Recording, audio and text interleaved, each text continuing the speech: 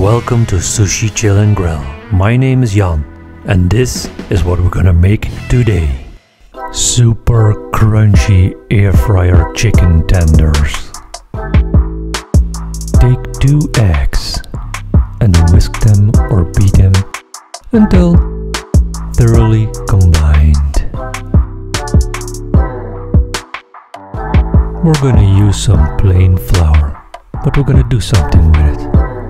We're adding smoked paprika, 2 teaspoons, and 2 teaspoons of garlic powder, some black pepper,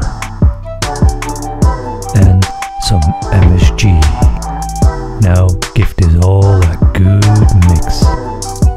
Let the flour and the spices become friends.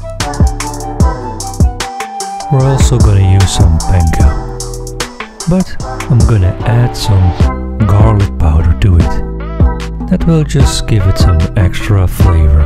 You can mix this by hand. Now, this is ready. We're gonna use some chicken breasts. And I used about 800 grams of chicken and just slice them in half. Or maybe in three parts. It depends on the size of the chicken breast. But these will do just fine. I think they will roughly have a size of 2 centimeters wide. Now, let's start the process. Or beat an egg, or spice party mix, and or panko. First grab yourself a chicken and dip it in the egg.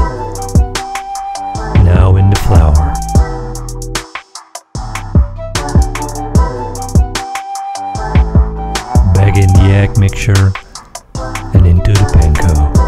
And do this with all the chicken. Really give them a good coating. And when you're done, it looks something like this. They look already amazing. And you can really smell the smoked paprika. It's so delicious. Grab yourself the basket of the air fryer and put in about 4 pieces of chicken. And I have a small air fryer, so if you have a big one you can maybe put it all in. But I had to do it in batches. I also gonna spray them with a little bit of olive oil, just to give that some extra flavor, but also they will become crispier. Now, this will go in for about 6 minutes on 200 degrees. Now, 6 minutes are over, look at that. They're already a little bit crispy. Now we're also gonna do the other side. And then our chicken tenders will be done. And here they go for another 6 minutes on 200 degrees. Now we're gonna make a sauce. Just a simple one. We're gonna add some fat-free yogurt and it's about 200 grams. We're also gonna add some mayo and some honey. But you also can do some sugar and some dill. And this is uh, dried dill, but you can use fresh dill if you want. Some garlic powder and some freshly chopped chives. Now give this all a good mix and I made this recipe before on the channel, so look it up. It's called the dill sauce and it's absolutely amazing. It goes so well with lots of dishes and oh man for barbecue season that sauce is absolutely amazing. Now it's almost ready and put it in the fridge for now. Now look at those tenders. They look amazing and they're so crispy. Oh yes crispy, crunchy chicken tenders. Oh yes, I like those. Let's plate. And when it comes to plating, I didn't have any idea how to do this.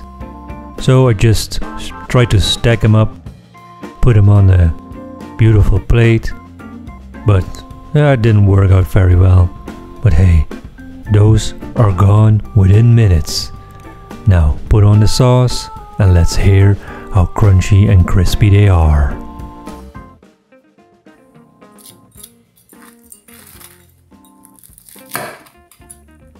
Now that sounds crunchy to me and they're so moist, oh yes, very good. Dip it in the sauce and then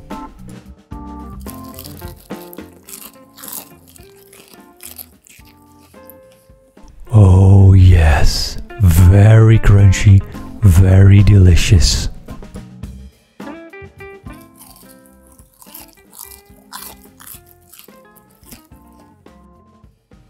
Thank you for watching. I hope you like my crunchy chicken. And as always, see you next time. If you're new, I hope you subscribe to my channel, give it a like and leave me a comment.